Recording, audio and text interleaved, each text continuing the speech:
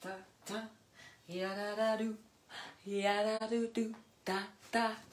Hello. Oh, look at me. Hi, hi everybody. It's Julie.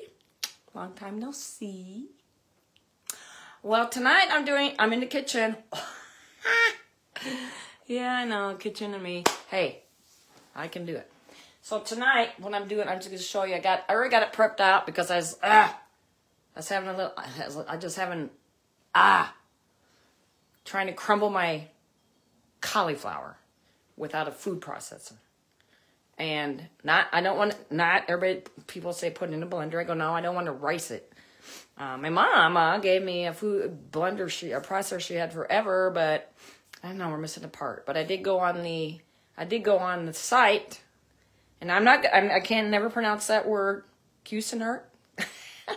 Anyways, that was my mama's, and the lid is missing. But because this is such a good food processor, I still can pick up the lid to it here later. I'm going to go search my basement though. So anyways, well, what I am making, getting ready to throw in the oven tonight, because I know I post a lot of yum yum recipes. I'm going to start to make more of them and enjoy them myself. So this one tonight, and I'll put that and I'll put it up. It's the ranch bacon cauliflower bites, which I think I posted that earlier this week. But anyways, I'm going to sort hold that here. I'm going to hold it because I got a bunch of them I print out and then um, anyways, I'm getting ready to put it in there. It smells.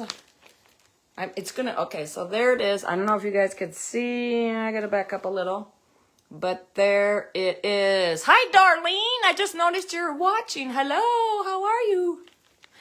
Okay, so anyways, late, I will, here it is. But you know what? I, I started to get too hard and I can't do like that. So once I get done with this, I will post post the recipe again underneath the, this video. Anyway, so I put it together. What it is, it's um, it you take a head of cauliflower, two large eggs, two tablespoons of the ranch powder, one and a quarter cup of cheddar cheese, six strips of turkey bacon, and one teaspoon of chives. So anyways, what I did already, I'm getting ready to fill up my little muffin tins.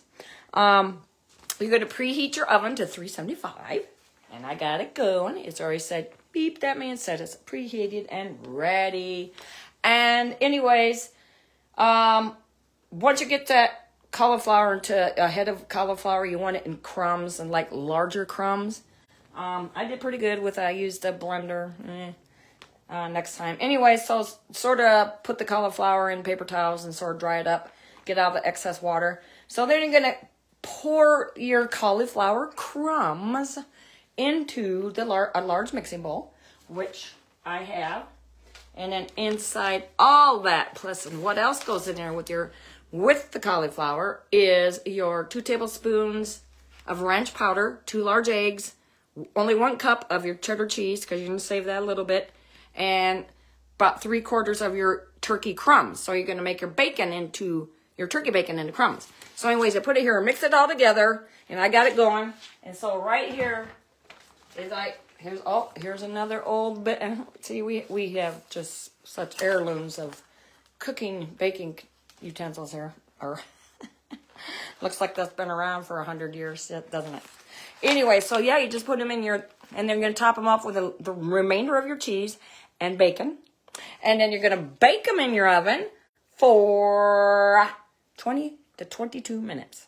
22, isn't that silly? 22 minutes. anyway, so that's it. And I am going to come back and taste them for you. Too bad we couldn't taste over the video here. But that's what I'm doing.